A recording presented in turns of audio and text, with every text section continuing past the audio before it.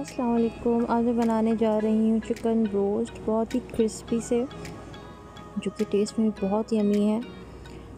तो उसके लिए मैंने चिकन ली है छः से सात लेग पीस लिए हैं उस पर मैंने इस तरीके से कट कर लिए हैं, ताकि मसाला अंदर तक जाए और कुक भी अंदर तक हो जाए, अंदर से कच्ची ना रहे, और मसाला भी अंदर तक जाए ताकि फीकी ना हो अंदर से। इसके बाद मैंने चिकन को थोड़ा सा बॉईल किया ज़्यादा बॉईल नहीं किया, मैंने थोड़ा सा बॉईल किया हल्का हल्का सा, ये देखें हल्की हल्की से बॉयल हो चुकी है। उसके बाद मैं इसमें मैरिनेशन की चीज़ें डालूँगी। तो सबसे पहले मैंने इसमें चिल्ली सॉस ऐड की है। उसके बाद मैंने इसमें सोया सॉस ऐड की है। उसके बाद विनेगर ऐड किया है मैंने इसमें। और टिक्का मसाला ऐड किया है। चिकन टिक्का मसाला ऐड किया है। इन सब चीज़ों की क्वांटिटी आप अपनी मर्ज़ी से रख सकते हैं। मैंने अपनी मर्ज़ी से रखी है, हल्का मसाला तेज़ मसाला, जो आपकी मर्ज़ी हो। तो मैंने इसको अच्छी तरीके से मिक्स कर लिया है। अच्छी तरीके से अंदर अंदर तक इसका मसाला जाए, इसलिए अच्छे तरीके से इसको मिक्स कर दीजिएगा। और मैंने मिक्स करके इसको मैरिनेट करके फ्रिज में रख दिया है एक घंटे के लिए। उसके बाद मैंने एक बाउल में मैदा लिया। इसमें मैंने पिसी हुई मिर्च ऐड की हैं। और सॉल्ट ऐड किया है इसमें। और ब्लैक पेपर ऐड किया है मैंने इसमें पाउडर और थोड़ा सा मैंने इसमें तिक्का मसाला ऐड किया है। ये ऑप्शनल है, आप डालना चाहें, जो ज़्यादा स्पाइसी चाहते हैं तो वो डालना सकते हैं और जो नहीं चाहते वो ना डाल तो ये मैंने फ्रिज से मैरिनेट हुई हुई चिकन निकाल ली है, एक घंटा हो गया तो मैंने उसको निकाल लिया और अच्छी तरह मिक्स कर रही हूँ मैं।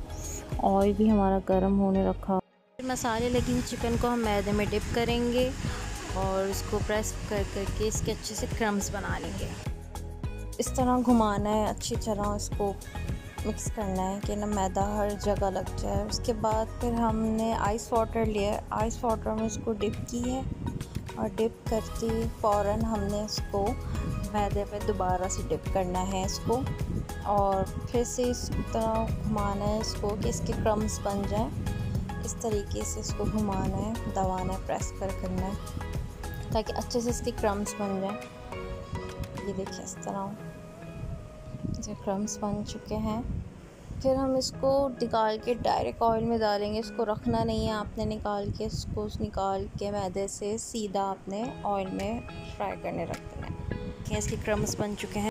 और मैदे से निकालने के बाद इसको रखना नहीं है डायरेक्ट ऑयल में डाल देना है। फ्राई करने के लिए। और तेज़ आँच बिल्कुल फ्राई नहीं करना, वरना फिर वो ऊपर से तो पक जाएगी चिकन और अंदर से वो कच्ची रह जाएगी। तो आपको हल्की आँच पे इसको पकाना है। तो ये अंदर तक कुक हो ताकि अंदर से कच्ची नहीं रहे। और फिर हमने बाकी भी इसी तरह मैदे में डिप करके अच्छी तरह बना के उसको फ्राई करने रख दिया है। देखिए इस तरीके से फ्राई हो रही हैं। एक साइड इसकी हो जाए कुक तो आप इसको पलट के दूसरी साइड इसकी कुक करें। इस तरीके से एक साइड मेरी कुक हो गई तो मैंने उसको पलट दिया है। और मज़ेदार सी क्रिस्पी चिकन तैयार हो चुकी है। फिर मैंने सारी निकाल ली डिश में। बहुत टेस्टी थी, बहुत ही अमी थी। आप भी ज़रूर ट्राई करिएगा।